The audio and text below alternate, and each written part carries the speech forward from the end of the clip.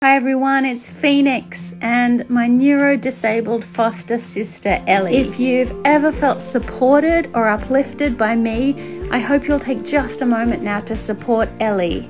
It turns out Ellie probably doesn't have cerebellar hypoplasia like me. Her mobility is not improving to the extent that we'd expect to see, and the vet experts think she is probably blind. Ellie needs an MRI ASAP, and we have booked one for next Tuesday, but we need $3,000 by then. We have no doubt that you, Fenix's family, can do it and I want to also say how sorry I am that my mum and me cannot adopt Ellie.